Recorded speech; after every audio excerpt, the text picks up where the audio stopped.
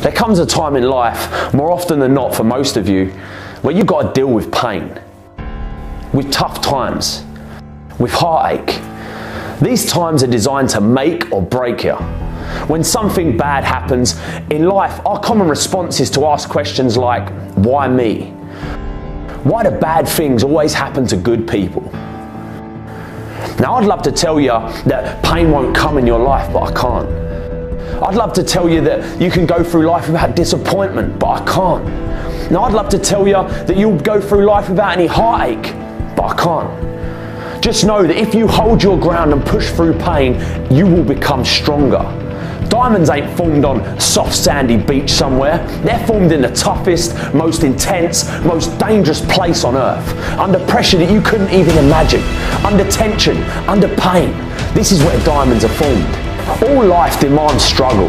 Most people think life comes with privileges, not problems, promises, not pain.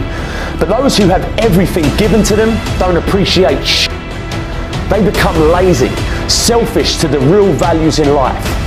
The hard work and the struggle that you face now is the main ingredient for who you'll become tomorrow. How can we appreciate success and happiness if we've never had pain? How can we appreciate beauty without ugliness? How can we appreciate the light without the dark? Every single struggle makes you better. All the tough times make you stronger. Every time you get knocked down, it lets you climb a little higher next time. What are you going to do when you go through pain? Because how pain changes you is up to you. You can come out bitter, but you can also come out better. We all experience pain. My challenge to you is to not just go through pain, but grow through it. Pain is there to make you better.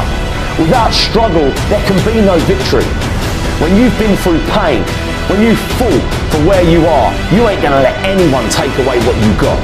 When you've earned it and paid your dues and suffered and failed and been hurt and been down and you get back up over and over, when pain and struggle comes to face you again, you look it in the face and stand it down because you've been through too much. You're too strong now. Everything that has happened to you up until this point has made you who you are, and it will continue to mold you into who you will be. All pain, all the sacrifice, all the heartache, all the criticism is always going to be there, but you've got to go through it.